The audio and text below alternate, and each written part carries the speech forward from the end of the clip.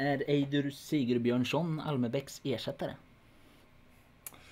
Ja, alltså vi, vi hoppas ju det. Och eh, sen är det ju olika kvaliteter på spelarna självklart. Som eh, Almebäck med sin eh, enorma snabbhet där. Så det finns ju inte någon liknande i den positionen eh, vad gäller den biten. Men eh, Eider har ju andra kvaliteter som, som eh, kanske kan eh, vara avgörande också. Och eh, det är det vi har sett då när vi har tagit hit honom. Att han har några speciella kvaliteter den här killen. Så att det ska bli mycket intressant att följa honom här i ÖSK Fotboll. Hur fick du nys om honom?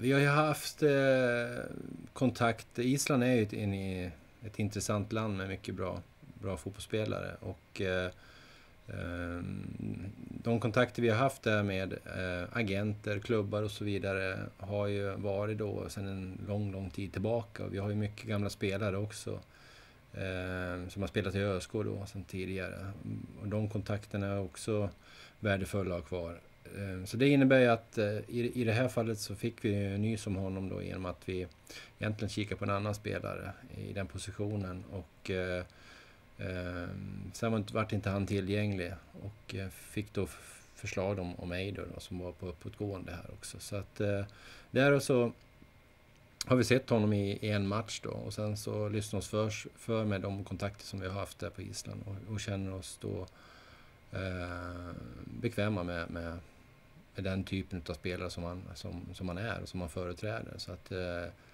eh, vi kände att det var helt rätt i både plats och tid. Vad har Eidur för kvaliteter? Ja, han är, han är väldigt följsam. En, en bra fotbollsspelare så att säga. Väldigt eh, bekväm med boll och, och eh, Ehm, sen har han eh, en förmåga också som en viktig back. Det är att kunna läsa spelet på ett bra sätt. Och, och vi, man kan se i spelet då att han är, är eh, väldigt mogen i, i, sitt utförande på det sättet. Eh, sen är det jättesvårt att avgöra eh, hur stort steg det är då från den isländska fotbollen. Men eh, rent fysiskt då, så isländska, isländska eh, ligan är ju otroligt fysisk Då nästan mer fysisk än i allsvenskan. Så att just det, om man spelar då två och ett halvt år i, i den ligan så pass ung så då har man skaffat sig erfarenhet och klarar den biten också. Hur står han sig jämfört med andra mittbackar i Allsvenskan? Ja, det återstår ju att se. Eh, så är det ju. Och, eh, eh, man, man, det är klart att en, en ung spelare som kommer in i ett lag behöver lite tid på sig och så vidare.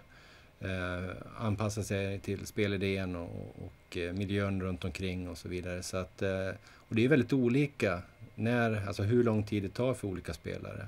En del går in väldigt snabbt då, eh, och andra måste ha mer tid på sig. Men, men vi hoppas väl att eh, det här kommer gå relativt snart också. Så att, ehm, rent socialt så Island-Sverige, det, det, det har funkat tidigare och kommer säkert funka bra den här gången också.